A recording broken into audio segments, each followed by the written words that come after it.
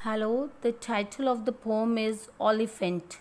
Grey as a mouse, big as a house, nose like a snake, I make the earth shake. As I tramp through the grass, trees crack as I pass. With horns in my mouth, I walk in the south, flapping big ears beyond count of years. I stump round and round, never lie on the ground, not even to die Oliphaunt uh, am I, biggest of all, huge, old, and tall.